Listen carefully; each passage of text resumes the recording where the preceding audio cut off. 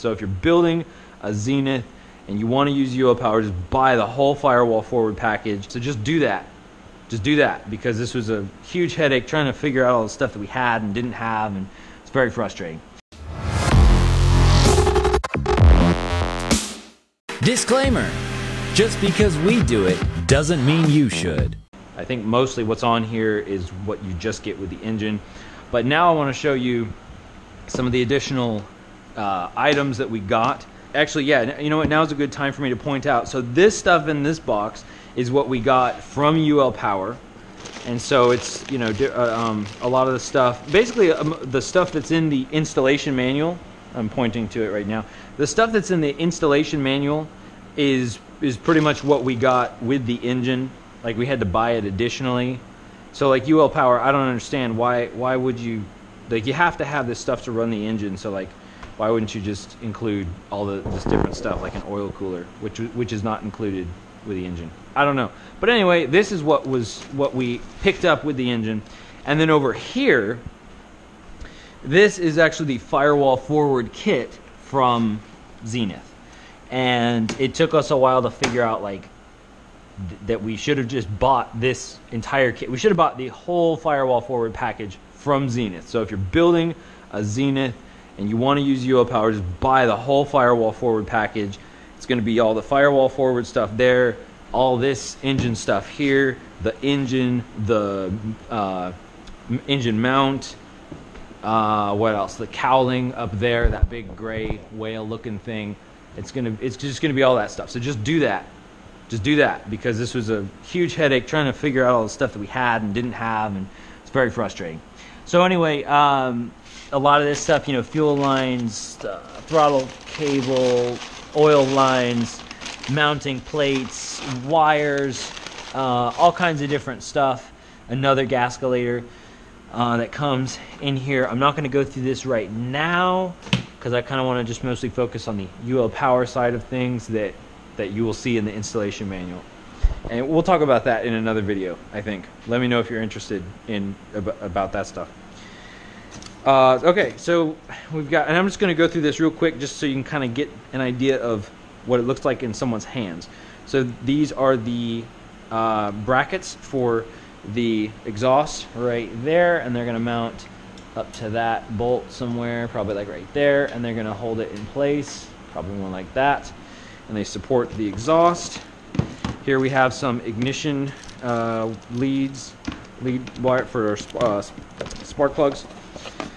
Here we have, and there's another one just like this, we have the coil right here, the ignition coil. Pretty heavy thing, really. Ignition coil. Ooh, look at that. Nice. So, um, okay, I'm gonna get distracted again now, but hopefully, if you watch this far, you just you're just gonna watch the whole video. This is the ignition coil, and you'll notice that this is not a magneto, which is fantastic because magnetos are really heavy and you have to like time them and stuff and do maintenance on them and stuff. This thing is all basically sealed up and it's very precise and it's this is pretty much just plug and play, which is uh, pretty fantastic. So no old magneto technology on this thing, which is great. So we've got some like various uh, tubes and hoses, lines and stuff, like for fuel and whatnot. We have, this is the uh, fuel connection kit. There, there, might be some stuff missing from here, but uh, we have some more fuel lines. I wonder if they gave us duplicates. I'm not sure. We got some banjo fittings, blah, blah, blah, hose clamps. Uh, this thing, probably for the filter, probably. And then we have, in this box, we have the, uh, well, this is the, uh, this is the double fuel filter bracket thing right there. And we'll see all that, you know, you'll I'll probably make videos of, of putting all this stuff together. So you'll you'll probably see it again. We've got the actual, uh, see another uh, fuel pump right there. We have uh, hose clamps. We have this thing. Right, let's see. What else do we have in here? We've got, uh, oh, just like a, okay, a double banjo fitting thingy. Uh, little caps, little, little, little things. Um, and then our coarse uh, filter. Looks like. So okay, here's the thing. This thing right here, again, as you'll see in the installation manual. Um, so this this right here is uh, how you, you you put your two pumps, a pump here and a pump here, and then you have your uh, fuel inlet right here. So fuel's coming through here, and then it goes to pump one and pump two. Now, I don't. I could be totally wrong about this. I've been wrong at least once before, but the thing is, UL Power, um, UL Power says this in the installation manual, and other people have said the same. Is that uh, you you don't want to run both pumps continuously.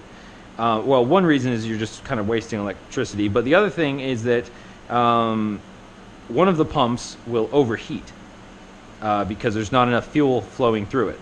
Now, it seems to me that because you have fuel coming through here, your fuel is first going to go to your first pump, and then whatever is kind of left over is going to go to your second pump. So you're going to have, lo- it seems like you'd have lower pressure because it's just gravity from, from your wings to here, and then you're going to, ha- it seems like you'd have lower pressure at your second pump. So it seems like this pump, because the way this is designed, is always going to be the hot one. I could be wrong though. I don't know. They didn't say which pump it was, but it seems like if you had your fuel coming in right here and it was like a T joint, it seems like then it would be more even in terms of where the fuel goes. But anyway, that's just a little side note. I don't know. What do I know? I'm not a engine manufacturer or whatever.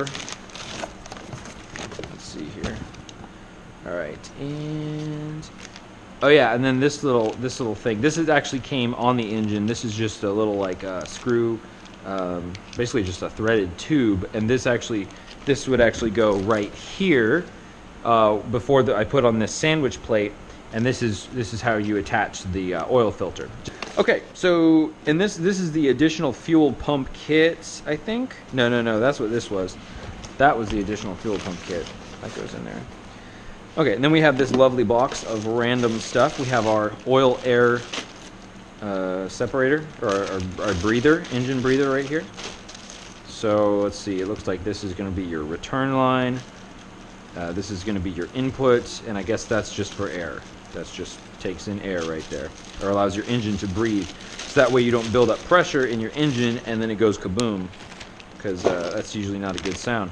We've got our another coarse uh, filter which connects like right up to the the right in front of the uh, pump.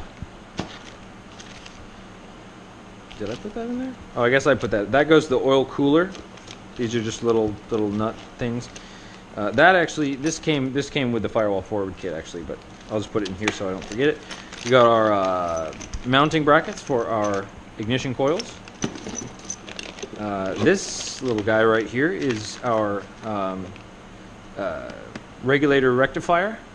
So we're going to mount this on a plate, and then in the firewall forward kit is the actual uh, metal bracket and the tubing and everything, the scat tubing, scat hose to go uh, to allow uh, air to come in and cool this um, regulator. So this is good. And here we have a bunch of uh, connections for our spark plugs. This is for the oil uh, um, oil cooler sandwich plate thing to connect the lines to that.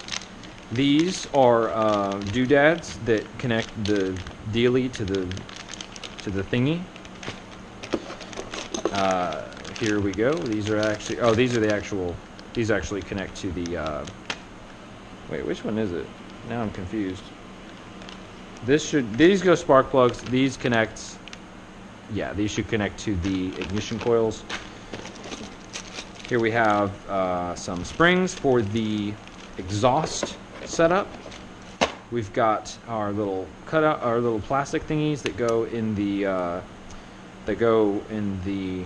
These are for the ignition coils to go through the baffling. Oh yeah, baffling. I forgot about that baffling.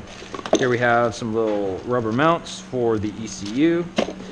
Another uh, fuel pump and let's see more hose clamps and our uh, filter fuel filter so I guess this would be a fine filter and there's only one fine filter so I guess what it is is uh, I think it's yeah fuel out after the after it gets goes through the fine filter, the coarse filter, the pump, and then the fine filter, and then it uh, flows out of there. And you might notice that if if you're building a Zenith, you might notice that in the uh, it, well, this one among other things in the assembly guides, they show like hooking up, uh, you know, sensors or different kinds of uh, or, or hardware to accommodate sensors, and that would be if you aren't getting your sensor, your like in this case, fuel pressure information from your ECU. So like if you're using steam gauges, you can't hook those up to the you know to the ECU. So you would need to have a, an additional sensor um, that's you know dedicated to uh, sensing the fuel pressure and then sending it to whatever instrument you have in the cockpit. So fun side note there. What's under here? Oh, oh yes, of course. and of course, the piece of resistance. We have the engine control unit, also known as the ECU or EQ. Nobody says EQ. And it's actually quite um, quite anticlimactic because it's just this. It's just this. Uh, so you can see all the pins in there. Don't want to damage those. It's just um, two ports that hook up to those uh, wire bundles. Like I said, you have your inboard, your in in port, and your out port.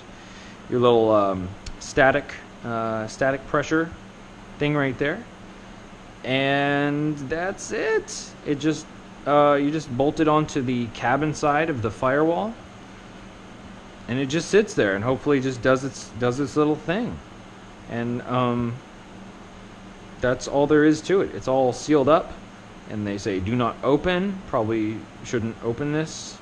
Uh, probably should just let it do what it does as long as it keeps doing it. And this is uh, what makes this engine so awesome compared to like a traditional aviation style engine that's using technology from like the 1950s is uh, you've got a little computer here that's talking to everything and synchronizing it and making it as efficient as possible and all you have to do is basically say you know i want more go-go power or less go-go power and uh, that's what it'll do Okay, here we have the baffles, the cooling baffles. This is sharp, so I have to be careful. So we got the baffles right here, and I am so glad. Actually, wait a minute. I'm not actually sure if, if, if we're going to have to cut this. I feel like we are. I feel like we are going to have to cut this. But I feel like there's also been a lot of work that's already been done. We don't have to cut out a lot of things. So you can see we've got, you know, we already have holes for the for the ignition leads. Uh, let's see, does this one have an extra hole? No, it doesn't for the cooling stuff. But anyway, so these go on here like so. You know, so you have to you put everything on uh, something like this.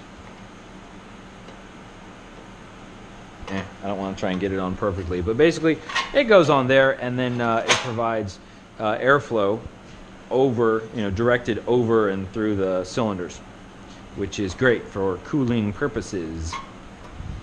Now, and again, you will need other stuff to actually like make all this stuff work. Like there are other little baffle plates and things specifically for, you know, cooling this engine just the right amount that you're going to get with the Zenith Firewall Forward package that is not included with the engine.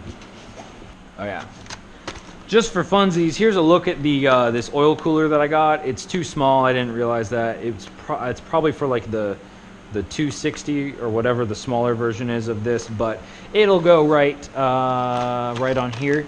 It'll just uh, it'll be mounted on right there, just to kind of give you an idea of where the oil cooler goes. And then we have these lines that connect from here to here and there and there. And I think finally we have the muffler right here, which is going to collect all of the uh, exhaust and then send it out through this port right here. This uh, one already has all the brackets um, welded on and everything, which is great. Unfortunately, or maybe not unfortunately, but the uh, the final exhaust pipe does not have any sort of brackets on it. Uh, there should be some brackets in here, Where are those brackets? There should be. They should be in here. I think I'm, I'm I may have missed them, but there's there should be some brackets included uh, to to attach the springs to actually attach the uh, exhaust pipe right here to the uh, muffler. So I guess the the idea is that you can cut this and uh, install this however you want, and then once you figure out how you want it, you can weld on the brackets. Unfortunately, I don't actually know how to weld. Well, I kind of do, but I don't actually have the equipment to weld right now. So we're gonna have to take this to somebody once we figure out how we want it, and then have them weld it in place. And so that's basically gonna come out, you know, I don't know, something like that. Come out there, maybe like that, maybe like maybe like this. Ooh, maybe like that. I don't know. It could just be any number of ways, really. Oh, and in addition to the firewall forward kit, we also got the cabin heat kit from Zenith, which hopefully works out well.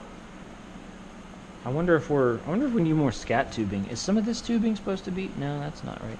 Anyway, uh, but yeah. So we also got the cabin heat kit, which had. I'll just show you.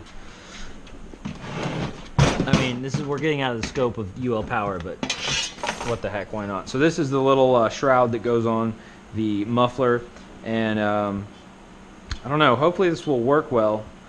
I think I'm going to modify some of this so that it actually dumps the heat when it's not being used because I'm just not sure how if the, I'm not I don't want any heat getting into the cabin like slipping through these uh, slipping by these butterfly valves. Oh yeah. Oh, these are aluminum. Probably. I mean, these probably are aluminum. It sure doesn't feel like stainless steel. Uh, I feel like stuff could definitely slip through that. So we probably want to. Hmm. Figure something out. I'm, I was thinking about like, what if you, what if you had like, um, like right here, because you're gonna have this on the inside, this on the outside. Oh, matching those up is gonna be interesting. Why is it shaped like that? Interesting. Anyway, I was thinking about like, what if you made holes right here, just like not huge holes, but holes like that. So that way, you know, when you have this open, you'd mostly you'd still mostly get the heat. But then if it's closed, you have this back pressure, but then the heat could escape. It'd be easier for the heat to go out that way instead of try and get past this butterfly valve. I don't know, just something to think about. Something to think about. Man, there's always something to think about when you're building an airplane. Oh. There you go, folks. There's sort of a uh, somewhat brief introduction, familiarization with the UL Power uh, 350iS engine. And again, uh, I'm sure I forgot something. And also, you know, I didn't really go over any of like the super technical specs or whatever. But because the thing is, is at the you know the the bottom line is when you're just trying to assemble everything, it doesn't matter like how much horsepower it has or what the compression ratio is or you know blah blah blah all this sort of stuff. That's that's like once you actually get everything assembled and it's operational and stuff, uh, that's when that stuff actually matters. What matters right now is like what is this part, where does it go, and how do I put it there. So anyway, hopefully this was helpful. Um, if you have questions, because I'm sure you probably do, because I probably left something out, um, leave a comment below and maybe I can make a video about that later or something along those lines. I'm going to get back to doing some other stuff and getting this airplane going, so I'll see you next time.